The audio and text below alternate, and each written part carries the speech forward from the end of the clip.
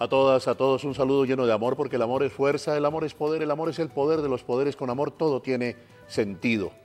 Ama hasta convertirte en lo amado, es más, hasta convertirte en el propio amor. Aquí, en definitivamente, los grandes del periodismo. Hoy es Hernán Peláez Restrepo. Y antes de comenzar nuestro programa en el día de hoy, para él, ¿qué es el periodismo? Definitivamente el periodismo es no solamente una profesión, sino un compromiso, hoy más en día. ¿Compromiso en qué? no es solamente informar, no es solamente entretener, no es solamente comunicar, sino ayudar a buscar soluciones para que el país, las personas, todos mejoremos. Así que el periodismo es una de las actividades más importantes y más comprometidas que debe tener la vida, definitivamente.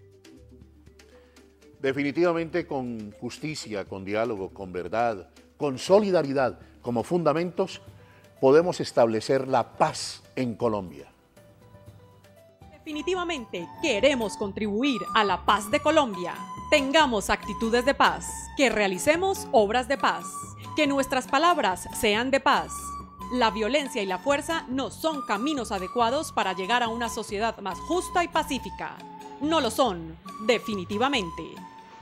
Definitivamente yo trabajo en la cultura y creo que eh, la cultura es un vehículo terrible para generar paz para hablar de la paz. Se está utilizando mucho el trabajo de la cultura para hacer una especie de apología de la violencia, de la guerra interna y todo. Yo creo que eso hay que transformarlo. En este momento, por ejemplo, Cali necesita una cultura de paz, una cultura que hable de la paz, que trabaje sobre la paz, inclusive tendría que montar la famosa y maravillosa obra de Aristófanes. Hace cinco siglos escribió una obra que se llama La Paz y está más vigente que nada.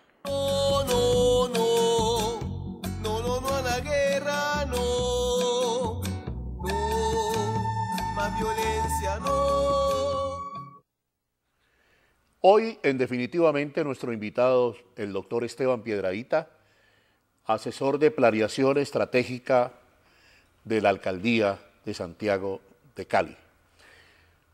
Doctor Esteban, bienvenido. Y me gusta comenzar este programa diciendo que en Cali están pasando cosas grandes. Yo no sé de quién es la frase, pero yo me he pegado a ella porque me parece bien. Bueno, hablemos del corredor verde. Por favor, ubíquenos qué es el corredor verde. Bueno, bueno, Jairo, eh, antes que nada un saludo muy especial a usted que siempre es tan generoso conmigo y me invita a su espacio periodístico con alma social, como usted bien dice, eh, y un saludo obviamente a todos los televidentes. Miren, eh, Cali es una ciudad con una geografía y una naturaleza privilegiada.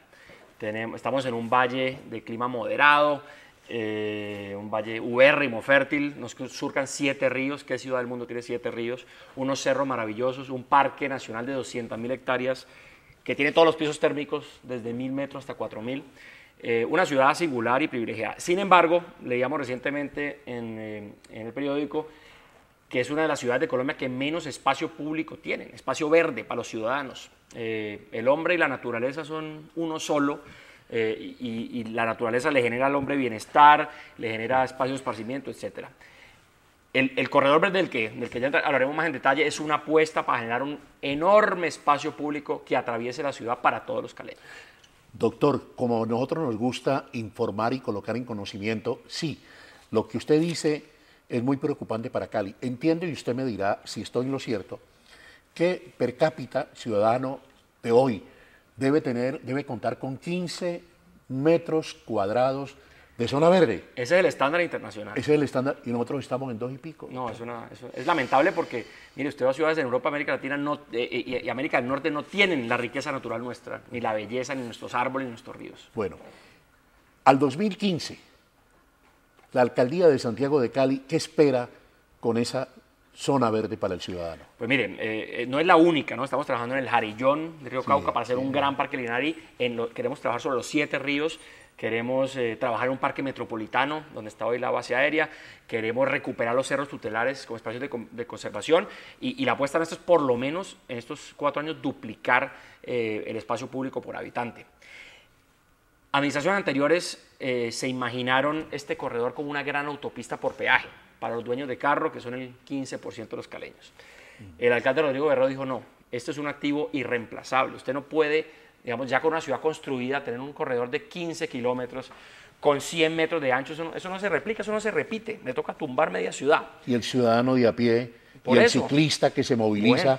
entonces la idea ahí es hacer transporte masivo sostenible con buses o tranvía, estamos evaluando la tecnología eléctricos o híbridos verdes, tener autopistas de bicicleta, verdaderas autopistas para que la gente se desplace, tener espacios, hoy en día hay canchas de fútbol en el corredor verde, es la, carrilera, pero hacerlas no, hacer tener parques estructurados, espacios eh, y sembrar árboles y tener un ombligo, una, una, una columna vertebral verde en la ciudad.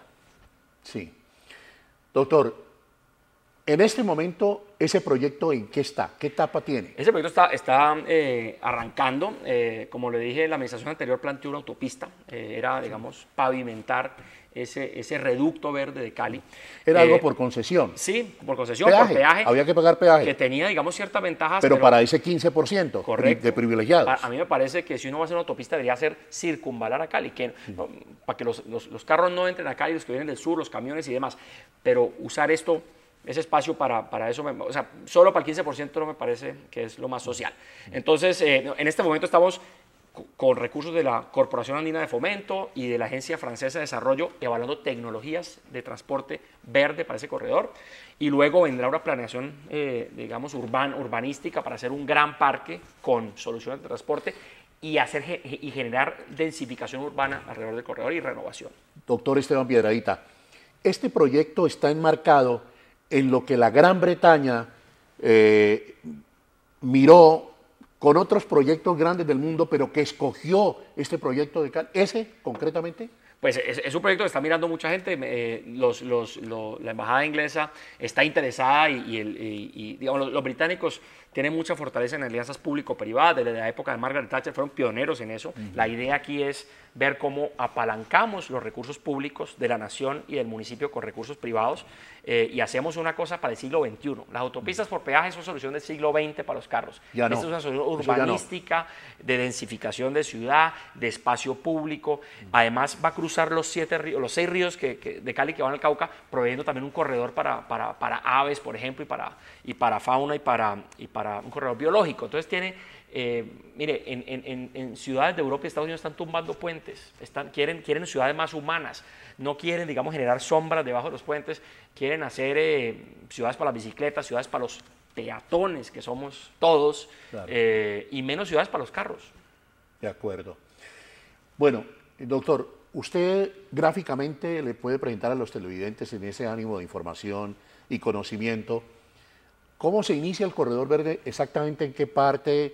¿Cómo Cruza podría hacer ese trabajo más o menos? Pues yo, eh, tenemos unos, unos, unos ayudas visuales eh, que podríamos compartir con mucho gusto, eh, pero básicamente esto va del límite norte de la ciudad, en Jumbo, por toda la carrilera hasta el límite sur en Jamundí. y eso va por la mitad de Cali, es la columna vertebral de Cali. Y también hay un bracito que sale hacia Palmira.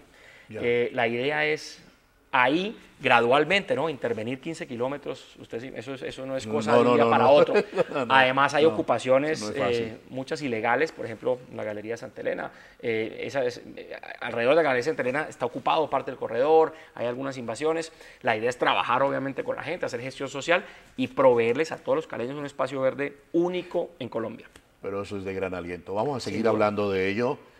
Buenas nuevas para Santiago de Cali, el corredor verde. Antes de irnos a comerciales, eh, yo quiero hacer este, este anuncio de un ser excepcional, el neurólogo Gerardo Hernández de la Fundación Parkinson. Buena calidad de vida y Parkinson pueden ir de la mano. Jornada gratuita de participación y recreación. Fundación Parkinson. Sábado 24 de noviembre, desde las 9 de la mañana hasta las 12 y 30 del día. Comunique esto si usted tiene un familiar con Parkinson Colegio La Anunciación, de la calle 56, número 1355, barrio El Trébol. Definitivamente en Cali están pasando grandes cosas. Solo en la medida en que trabajemos unidos lograremos cambiar la imagen que tenemos y lograremos el progreso que la ciudad está necesitando. Desde la Cámara de Comercio estamos empeñados en apoyar todas aquellas iniciativas que generen competitividad, bienestar y desarrollo social. al alcalde tenemos que acompañarlo, definitivamente. Indudablemente, doctor Esteban Piedradita, pues una obra de este calado debe tener unos impactos. Hablemos de algo que me ha llamado poderosamente la atención, es la glorieta aquí de la, de la 25, la que decimos del Seguro Social o, de, o del tren.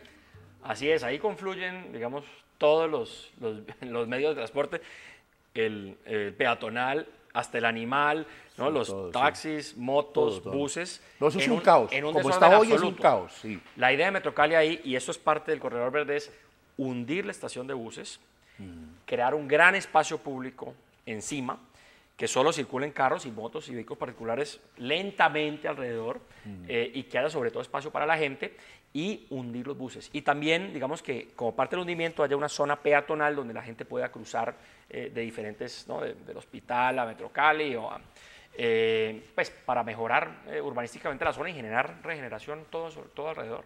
Sí. Doctor, vamos desmitificando algunas cosas que van apareciendo en estos grandes proyectos porque dicen, no, seguramente le van a dar a los privilegiados más posibilidad.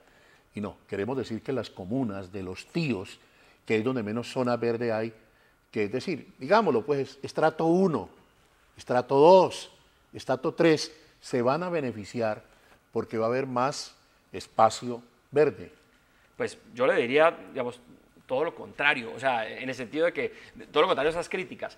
La solución planta anteriormente era una solución únicamente de movilidad y únicamente para dueños de carro y no por peaje. Eso está claro. Esta es una solución de espacio público, de, modos de transporte eh, alternativos y no motorizados como bicicleta, de transporte masivo y ecológica. Es una solución integral y atraviesa todo Cali. Y digamos, para, para, los habitantes de los tíos, lamentablemente, como usted dice, es cierto, los, las zonas más pobres de la ciudad son las que menos espacio público tienen. Los niños no tienen dónde jugar, no tienen espacios.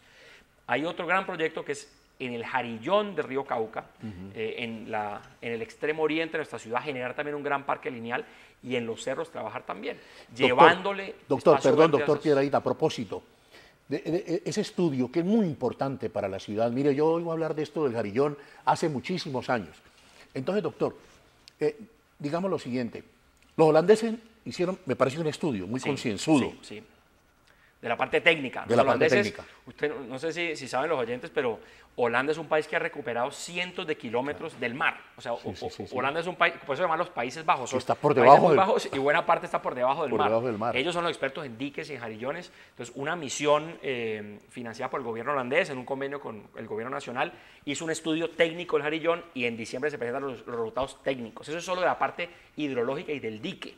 Luego viene, digamos, el traslado de las familias, la generación de nuevos espacios de vivienda para ellas, en las lagunas del pondaje, por ejemplo, la recuperación de las lagunas de pondaje y Charco Azul mm. como mecanismo de regulación y la generación de un gran parque y que esta ciudad no le dé más la espalda al Cauca. El Cauca es, ¿no? Pues parte de la gran cuenca Cauca-Magdalena, la más importante de Colombia, nuestro gran río, y vivimos de espaldas a él. Si hacemos un parque espectacular ahí, pues otra va a ser la historia del oriente de Cali. Pero volvamos al corredor verde. En este momento la, cronología de, este proyecto, ¿en qué va? ¿Cuál es el momento del presente? Mira, no, en este momento, lo que, como le digo, tenemos un estudio de prefactibilidad y soluciones tecnológicas. Ahí hay una carrilera, ¿no? una carrilera estrecha, eh, pero pues yo creo que es de interés de la ciudad conservar carrilera para un futuro. Es evaluar, bueno, qué, qué tipo de transporte masivo vamos a meter por ahí. Una vez tengamos eso, viene el estudio de factibilidad, donde ya se desarrolla todo el proyecto, escogiendo, digamos, eh, pues, todo el mobiliario que va, la planeación urbana, qué tipo de tecnología va. Eh, y esto debería comenzar eh, a construirse en 2014. O sea, lo que queda de este año y el próximo año es para, para hacer estudios.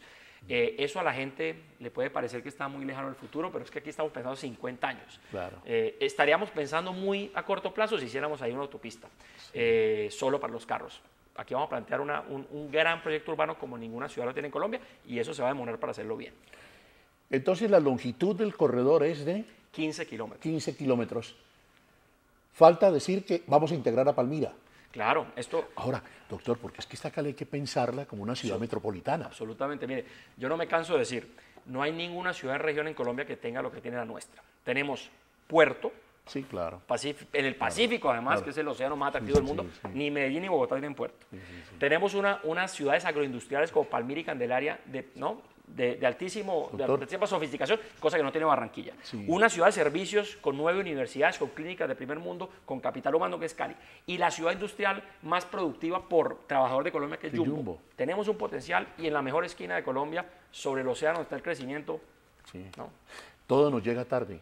¿Por qué Pero llega, hemos llega. No, llega, llega, pero ¿por qué? ¿Cuál es la razón para que hubiésemos pensado siempre allá, en el norte, en el Atlántico y en el Caribe? Pues eso es histórico, ¿no? España quedaba hacia allá, eh, los ríos de la patria, como diría mi antiguo jefe, fluyen hacia el Caribe, eh, y, y esos eran los mecanismos de transporte. Algunos visionarios, incluyendo el, el general Rafael Reyes, eh, se, ¿no? coincidieron en 1890 el ferrocarril a Buenaventura. Este país, como tiene el lujo de tener dos costas, le ha dado la espalda al Pacífico. Increíble, increíble eso. El, el mar de las oportunidades, Ya, hoy por hoy. Usted ve Apostándole aquí a, California, por ejemplo. ¿Cuáles son por las- aquí cerca, pero para allá, Palacia ni hablar. cuáles son las regiones más dinámicas de las Américas. Doctor, usted estuvo cerca del embajador de Corea Sí. de visita en estos días. Cuente, por favor, esas buenas nuevas del señor embajador de Corea. Claro que también nos, ¿no? Nos llamó la atención. sí. nos llamó la atención, nos dijo, bueno, Pues, ustedes, pero, pero, Usted sabe que hace 50 años Colombia era más rico que Corea por habitante. Corea es uno de los grandes casos de éxito en el mundo en desarrollo económico. En 60 años pasó de producir eh, camiseticas a producir eh, teléfonos inteligentes, pantallas planas, carros.